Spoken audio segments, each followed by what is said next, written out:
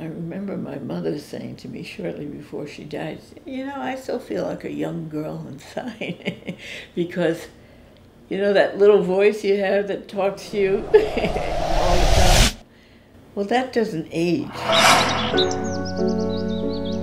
My name is Molly Hoagland. I'm 82 years old and I work out at CrossFit Tilt.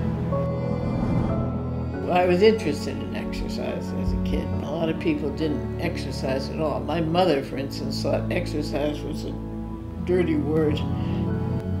I think I get more out of life. You know, there's certain things with age that you're not going to counteract, but there's a lot that you can do. You can modify the aging process, and you feel more alive.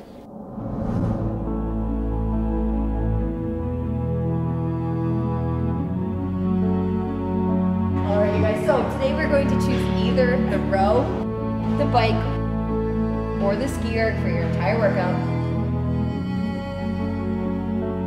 I first was interested in CrossFit. My husband's been diagnosed with Alzheimer's. I was told he would be gone long before this. My goal was to be able to pick him up when he slides out of a wheelchair, which is like an issue for me when I'm home alone with him. At my age, people age so differently. Uh, feeling about moving through life really feels good to be fitter. Worried about CrossFit, like it might be too much. And I guess the feeling that I have is nothing's too much.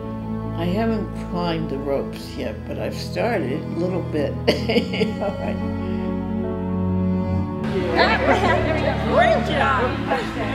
Well done. Great job.